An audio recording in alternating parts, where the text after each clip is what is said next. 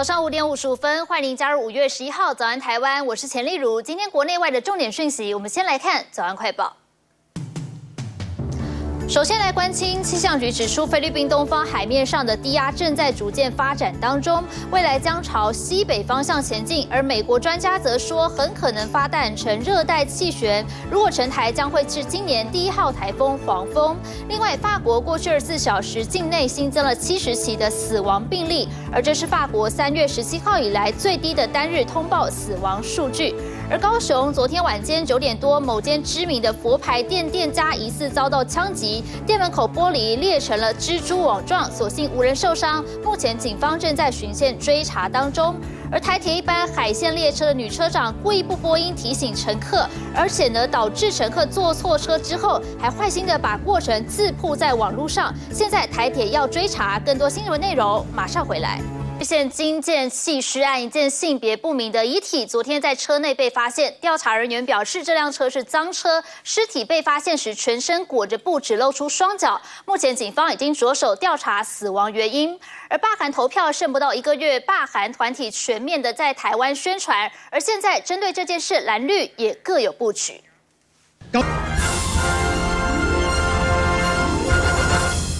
时间来到早上六点整了。随着最近天气逐渐变热，是否台风季也即将要来临了呢？气象局表示，菲律宾东方海面上有低压正在逐渐的发展当中，未来将朝西北方向前进。而美国气象专家表示，该低压很可能发展成热带气旋。而美国模式的模拟路径图也已经出炉了。如果成台的话，将会是今年第一号台风，名字叫黄蜂。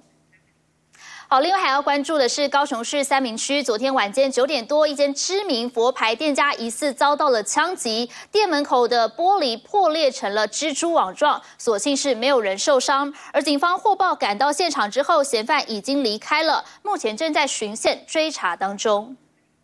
另外要接着看到的是在台南新市发生一起自撞翻车意外，一名女驾驶疑似变换车道的时候没有注意，直接撞上了分隔岛，导致车辆九十度的翻覆。当时状况交给右选。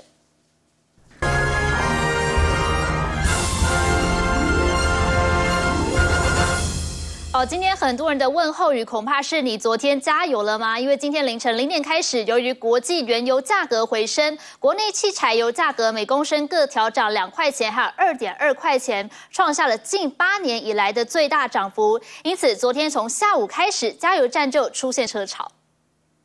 教是国内的疫情，昨天连续三天零确诊，而且是连续第二十八天都没有本土个案，等于过了两个的潜伏期。指挥官陈时中表示，代表台湾社区目前已经是相对安全，疫情能够控制住。他说也要归功于全台民众的配合。而昨天刚好是母亲节，这二十八个零本土也是送给全天下母亲最好的母亲节礼物。而且要告诉大家，昨天指挥官陈时中也在记者会上说到，口罩日购有了。新规定。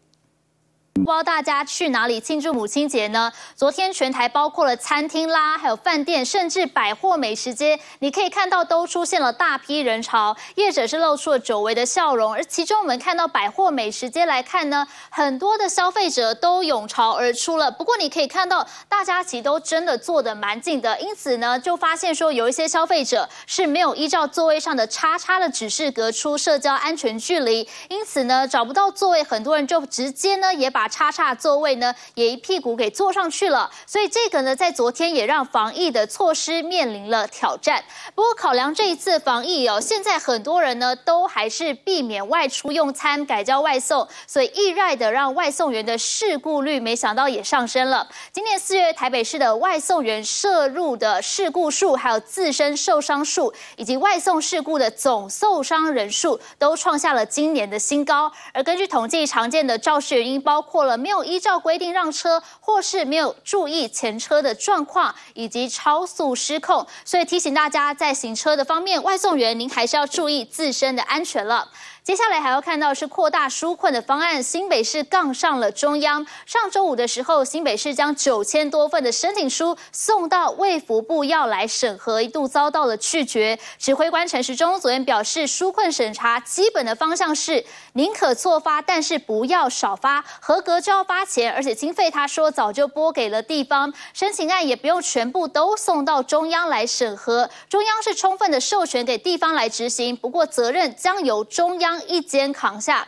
对此，新北市长侯友谊强调了，他都是按照政院的指示。他也表示，现在卫福部又说地方能审就审，因此今天针对资格符合的就会送出纾困金。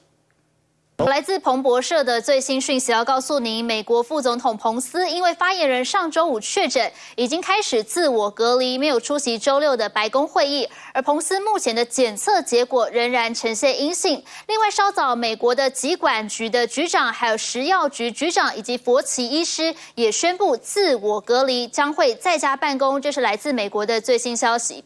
国内要带您关注的是台北市士林区，昨天晚上十一点多发生两辆车对撞的意外其中一辆逆向的银色轿车，驾驶在警方到场之前，竟然就弃车逃逸了。怎么回事？交给云曼。